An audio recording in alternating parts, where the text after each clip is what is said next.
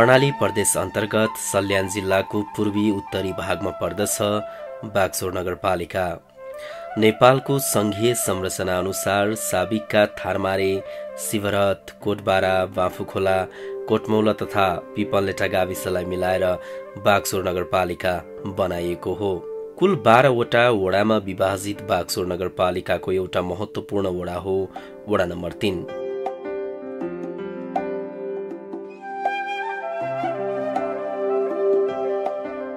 साबिकको थारमारे गाउँ विकास समितिका वडा नम्बर छ सात र नौ मिलेर वडा नम्बर तीन बनेको हो।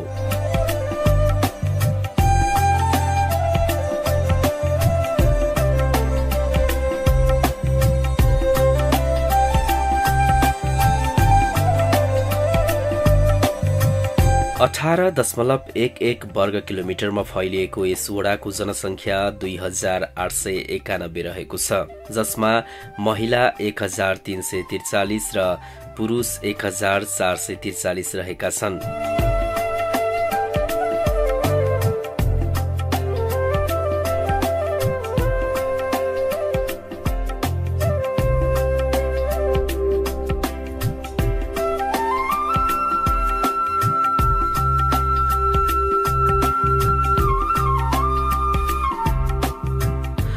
वडाको डिजिटल सर्वे अनुसार चार सय एकानब्बे घरधुरी सङ्ख्या यस वडाको रहेको छ।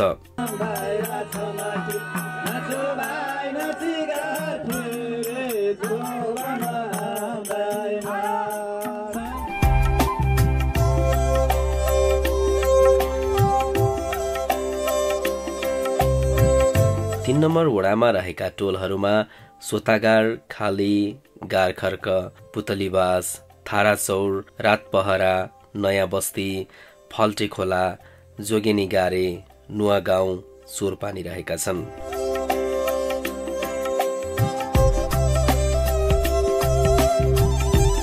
वडामा बसोबास गर्ने व्यक्तिको मुख्य पेसा कृषि तथा पशुपक्षी पालन रहेको छ। यस बाहेक साना व्यापार व्यवसाय तथा उद्योग थोक तथा खुद्रा व्यापार शिक्षण वैदेशिक रोजगारी सरकारी सेवाका साथै होटल पर्यटन तथा सेवा जस्ता आय आर्जनका पेसाबाट यहाँका जनताले आफ्नो जीविकोपार्जन गर्ने गरेका छन्।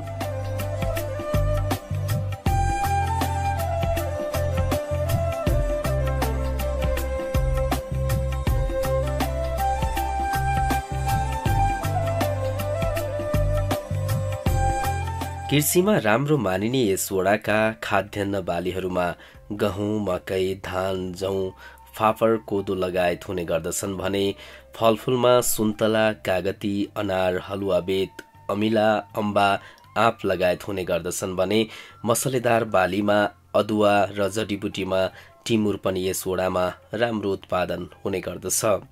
हाम्रो टोलमा बानब्बा तिनमा भन्नुपर्दा पहिलेमा सानो हुँदा त यस्तो बाटोघाटो आएको पानी सानी आएको मैले केही थाहा पाएको थिएन।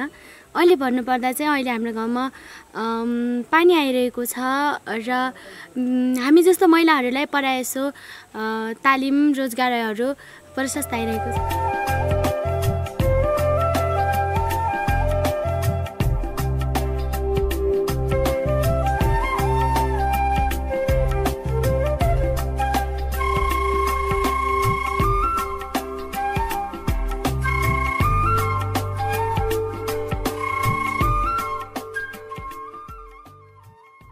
कार्यकाल सफलतै रह्यो राम्रै भयो। विकासको हिसाबले सबै ठाउँ समेटेर गरिरहेको छ अलि अब बढी खालीमा छ किनभने साबी गोडा पनि भयो। अब त्यो अलि विकास सडकदेखि लिप्ट खानेपानीदेखि को कृषि सडकदेखिको खालीमा बढी छ अलि। हेर्दा झाप्पै। तिनी सडक अब कोही टोलबाट कोही जोड्ने पनि छन्। अब हाम्रो यताको वडाबाट उता डारमाको नौ गाउँसम्म जोड्ने पनि थियो। सबैभन्दा बढी लगानी सडकमा भएको छ। कृषितिर गरियो पशुपालनतिर गरिएन पशुपालनमा नगरपालिकाले अलगै रकम राख्छ। पशु र कृषिमा अब उनीहरू मार्फतै हुन्छ। वडाले त्यति लगानी लगाएनौँ हामीले त्यसमा। अब जहाँ जहाँ साउरा बाटाहरू थिए तिनलाई अब स्तर उन्नति गर्ने काम भयो।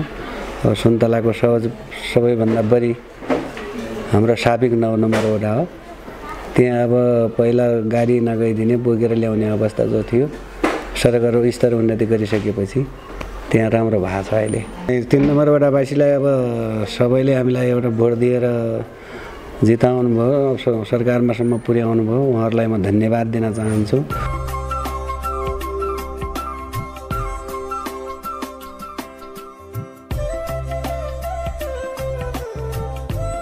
स्थानीय सरकार बने यताको पाँच वर्षको अवधिमा वडा नम्बर तिनमा दस करोड बहत्तर लाख बढी बजेट विकास निर्माणमा खर्च भएको छ। यसरी भएका विकास निर्माणहरूमा सडक खानेपानी भवन सिँचाइ कुलो गोरेटा बाटा विद्युत लाइन शिक्षा स्वास्थ्य क्षेत्रहरू रहेका छन् भने कृषि पशुपालन पर्यटन तथा संस्कृतिमा पनि स्थानीय सरकारले काम गरेको देखिन्छ। एक हजार चार सय अठार जनसङ्ख्या साक्षर रहेको यस वडाले शिक्षा क्षेत्रमा पनि फड्को मारेको देखिन्छ। शिक्षातर्फ स्थानीय सरकारले विद्यालयका पक्की भवन शौचालय खानेपानी प्रयोगशालाहरू आइसिटी ल्याब पुस्तकालय व्यवस्थापन खेल मैदान राष्ट्रपति शैक्षिक सुधार कार्यक्रम जस्ता कार्यक्रमहरू सञ्चालन गरेको छ। जसले गर्दा विद्यार्थीको पढाइमा सजिलो भएको छ भने शैक्षिक अवस्था पनि सुधारिएको छ।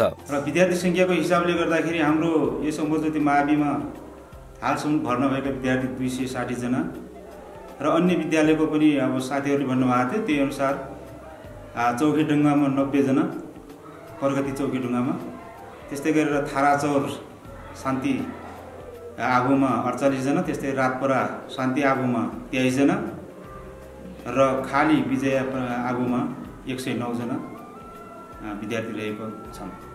शिक्षकको अवस्था त अब अहिले हाम्रो यस विद्यालयमा नगर अनुदान माविमा एक के अरे एकजना माविमा एकजना निमाविमा र दुईजना सङ्घीय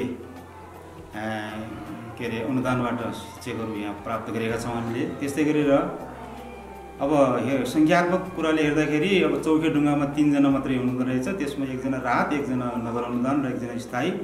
त्यस्तै गरेर थाराचौरमा तिनैजना राहत हुनुहुने रहेछ र रातपरामा दुईजना स्थायी मात्र। र खालीमा तिनजना स्थायी र एकजना राहत र हाम्रो अमर ज्योतिमा अब हाम्रो स्थायी दरबन्दी प्राविको तिनजना मात्र र निमाविको राहत एकजना र अब प्रावि प्रावि स्तरको राहत एकजना र बाँकी नगर अनुदान निमावि एकजना मावि नगर अनुदान एकजना र दुईजना सङ्घीय गरेर जम्मा नौजना शिक्षक स्टाफहरू रहेका छौँ हामी यहाँ।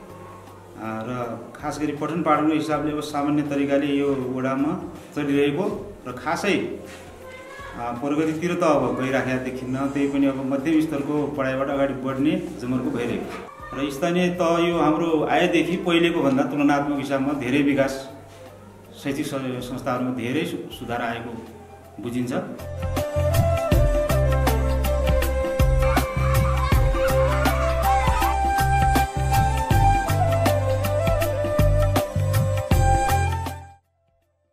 जनआन्दोलन पश्चात पछाडिका दिनहरूमा पहिले र अहिलेको अवस्था हेर्दा धेरै नै फरक देख्छु मैले।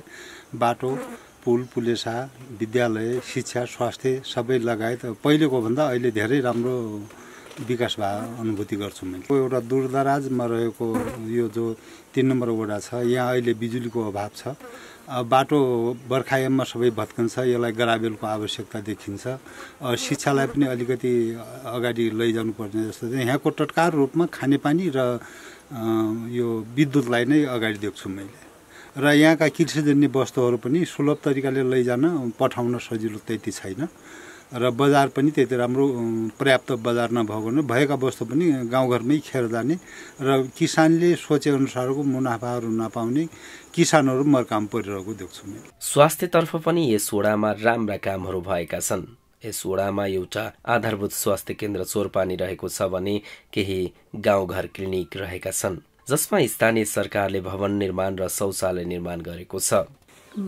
हाम्रो पाँच वर्षको कार्यकाल सम्बन्धमा सबै कामकाज गर्दाखेरि सबै राम्रै तरिकाले हामीले गरिसके गऱ्यौँ। हाम्रो पाँच वर्षमा गरेको कार्यकालमा केही काम अप्ठ्यारो भए पनि केही अब सप्टारा हुन सक्छन्। अब त्यसमा पनि हामीले काम गर्दै जाँदा सबै अब सजिलै तरिकाले हामीले पाँच वर्षमा सम्पन्न गरेको जस्तो मलाई अनुभव छ। पहिला पहिला त हामी नयाँ निर्वाचन भए हिसाबले केही अनुभव नभएर हामी एक वर्ष त्यो अनुभवमा त्यस्तै अन्धा धन्दामा थियौँ। अनि काम गर्दै गर्दै गएपछि हामीले धेरै अप्ठ्याराहरू सप्टाराहरू विघ्न पार गर्दै लगभग दुई वर्षमा हामीले काम सफलतै गरेका थियौँ तर एक वर्ष अलि धेरै बढी कोभिडले गर्ने बेला हामीलाई अल्मल्याए विकासका कामहरू गर्न त्यति भ्याएनौँ तापनि तर सम्पूर्ण मोटामोटी कामहरू गऱ्यौँ। तर पछिल्लो चरणमा आएर अहिले अप्ठ्यारो सप्ठारो सबै पार गरेर राम्रो काम गरे केही कामहरू अधुरा छन् हामीले गर्नुपर्ने। गरौँ लाग्दा हुँदै अब नयाँ निर्वाचनहरूले गर्नु होला हामीले जिम्मा दिएका छौँ। तर राम्रै बिते दिनहरू हामीहरूका। वन जङ्गल तथा जडीबुटीले पनि यस ओडा अगाडि रहेको छ जसले गर्दा कृषि तथा पशुपालनलाई सघाउ पुगेको छ भने वातावरणीय अवस्था पनि स्वच्छ देखिन्छ। यो संहितापछिको दोस्रो निर्वाचनमा निर्वाचित भएमा दोस्रो कार्यकालमा निर्वाचित अध्यक्षको पदमा निर्वाचित भएँ। त जनताका धेरै समस्या छन् धेरै तपाईँका सानातिना समस्या छन् जो पिल्ठिएका जनता छन् तिनीहरूलाई मैले जो गर्नुपर्ने गर्नुपर्ने काम अति छन्। मलाई सान स्थानीय तिनीहरूको मध्यनजर गरेर जो जो छ पिल्छिएका छन् जो जनतासँग सानो पनि न्याय विकाससँग पन्छि पन्छिरहेका जनतालाई मैले न्याय दिन्छु र हाम्रो सम्भावना वडा नम्बर तिन भने भने एउटा कृषि खेतीको हिसाबले पनि अलिकति यो सल्यान जिल्लाको वडामध्ये अथवा नगरपालिकाका वडामध्ये हाम्रो पनि गणना आउँछ। सुन्तला खेती आँप खेती जस्तो विभिन्न किसिमका तपाईँको सम्भावना बोकेको ठाउँ पनि छ। त्यो सम्भावना भएको ठाउँलाई मैले राम्रोसँग अध्ययन गरी जो पाँच वर्षको कार्यकालमा एउटा नीति एउटा गुरु योजना जस्तो बनाएर अगाडि बढाउने एउटा मैले दिदता पनि व्यक्त गरेको छु र त्यसमा साथ त्योमा साथ दिन जो जो कोही हुनुहुन्छ जसले जसलाई मैले साथ सहयोग संस्थाको हरेक प्रोजेक्ट नगरपालिका कुनै सबै ठाउँबाट मैले पनि त्यसलाई साथ सहयोग लिने पनि अपेक्षा राखेको छु र मैले त्यो त्यो खोजीमा छु। जो तिन नम्बरको विकासको लागि मैले दिनरात अब लगभग डेढ महिना सिद्धिसकेको छ। हामी निर्वाचित भएको लगभग साढे अन्ठाउन्न महिनाको हाम्रो पिरियड छ। त्यो त्यो पिरियडलाई मैले टाइम टाइमलाई अरू टाइमभन्दा जनतासँग जनताका समस्यासँग भिड्ने अनि समस्यासँग जुझ्ने जनताको समस्यासँग साथ दिने समस्यासँग साथ दिँदै अगाडि बढ्ने मैले एउटा प्रतिबद्धता पनि गरेको छु र त्यो मेरो दायित्व पनि हो त्यो एउटा पदले पनि। जो हुने कुरामा पनि हामीलाई मलाई हुने कुरा राम्रो कुरा सिकाउने जो जसलाई पनि मैले धन्यवाद दिनुपर्छ उहाँलाई हातीमालो गर्दै अगाडि बढ्नुपर्छ।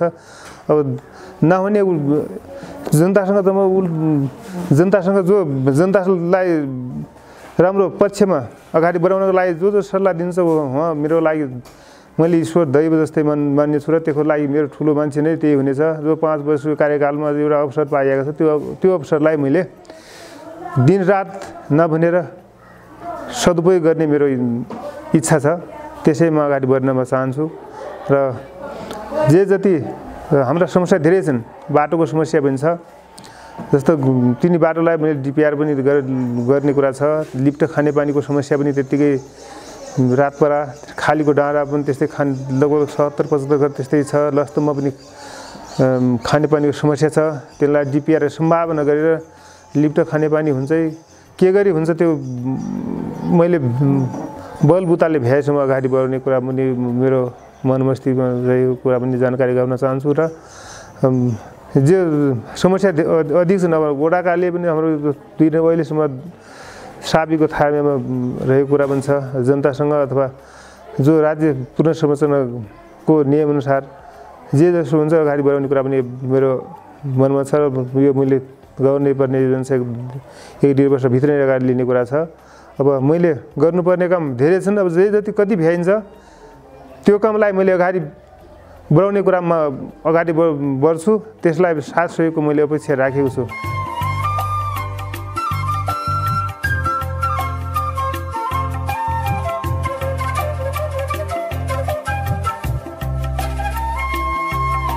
विकासको दृष्टिले विकास उन्मुख रहेको यो वडा भूगोलको हिसाबले पनि मध्य सुगम खालको छ। गाउँ टोलमा पुग्ने सडक बाटाहरूलाई सुधार गर्ने उत्पादित कृषि वस्तुलाई व्यवस्थित बजारीकरण गर्ने हो भने यस वडालाई आर्थिक रूपले माथि उकास्न सकिन्छ। वडा नम्बर तिनको समग्र विकासका लागि जनप्रतिनिधि र जनताहरूले हातेमालो गरेर विकास र समृद्धिको यात्रा तय गर्न सकियो भने साँच्चीकै वडा नम्बर तिन